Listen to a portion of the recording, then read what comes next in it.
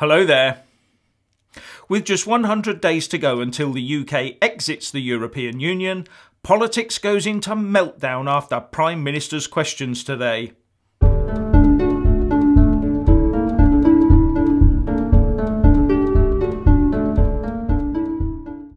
We have a tad over three months to go until the UK finally leaves the EU so it was right that the final Prime Minister's Questions of the Year was dedicated to the subject of Brexit. And as expected, today's session has caused meltdown across the UK political spectrum. But the carnage was not because of the possibility of a no deal Brexit, or because of the way the PM has delayed the so called meaningful vote on her deal until the middle of next month, or that she refuses to discuss anything else but her deal. No, the whole system has gone into meltdown because Jeremy Corbyn might have called Theresa May a stupid woman. He was caught saying something on camera while seated at PMQs, but there was no sound available. However, some people are claiming he said stupid woman. His side has claimed that he actually said stupid people, and was referring generally to those who would not take the Brexit debate seriously. All I can wonder is what would have happened if a female MP had called a male MP a stupid man. I expect the object of the insult would have been told to man up or something if he had complained.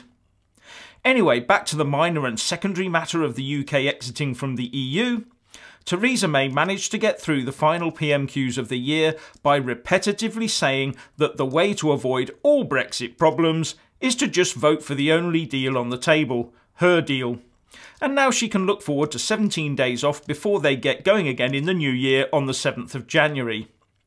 Then she only has to stall for another couple of weeks while she tries to get some meaningful movement out of the EU regarding the Irish backstop issue, and then convince her MPs that the resulting assurances mean something, before having a so called meaningful vote on or about Friday, the 18th of January, and in all probability losing it. But while all this is going on, the EU has started its own no deal Brexit planning, with proposals that UK trucks will be able to travel unhindered into the EU until the end of 2019, as long as we reciprocate. But as the vast majority of trucks that travel between the EU and UK are not UK registered, then it is an obvious offer for them to make. The EU is also starting to talk about no deal arrangements over such things as air travel, citizens' rights, customs checks, banking, data protection, transport, and for holidaymakers. Are we seeing a no deal Brexit turning into a properly managed WTO exit arrangement? Are we seeing the EU waking up to the reality that a no deal Brexit would be bad for them? Have we just seen the EU blink? Actually, it doesn't matter now. Both sides are now making plans for a no deal Brexit, but they cannot do it in isolation. Once we get shot of Theresa May's objectionable deal, the EU and UK have a real opportunity to get round the table to get solutions agreed to the identified problems of this so called no deal scenario. When May's deal collapses, could that provide the opportune moment for a Brexiteer to take over the talks with the aim of both sides conducting a managed exit of the UK from the EU? That moment could see the birth of our new EU UK relationship built on the day to day needs of things like travel and trade and not on the hidden agenda of creating an EU superstate. With proper nurturing thought and engagement on both sides, this could then be built on to create a working trade agreement where the UK maintains its political independence and the sovereign right to run its own affairs. In fact, I can't see anything that would stop that happening naturally, except, of course, for the bitter and frustrated Remoaners trying to put as many spanners in as many works as they can in the next few months. Now, has anyone pointed out to you that according to Office for National Statistics figures out today, the annual rate of inflation fell from 2.4% in October to 2.3% in November? Has that figure been trumpeted from all the towers and hilltops across the land? Well, it would have been had it been the other way around, wouldn't it? Also, when taking homeowner occupier costs into account, inflation remained unchanged at 2.2%.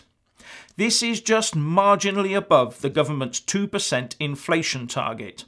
So much for the scaremongering of rampant inflation, etc., and not a peep on the mainstream media as far as I can see. On a final note, there has been a lot of talk about this new charge of €7 Euros for a three year pre travel authorisation for UK citizens to get into the EU after Brexit.